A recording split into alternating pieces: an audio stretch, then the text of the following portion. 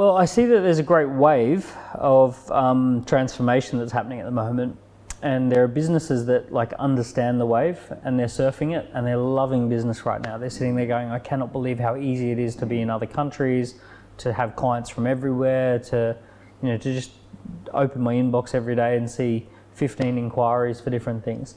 And they're kind of like, you know, their experience is just shock. Wow, business is actually a lot of fun, and, and there's a whole momentum behind me. Yeah.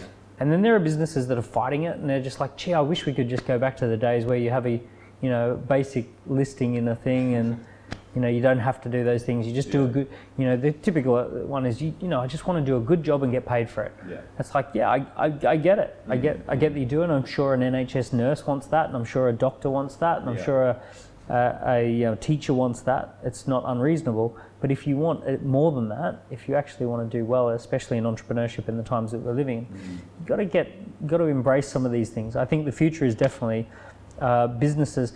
Here's the other thing, Yeah. actually. Businesses that think of themselves as online businesses Yeah. are making just as big of a mistake as businesses that think of themselves as offline businesses. Okay.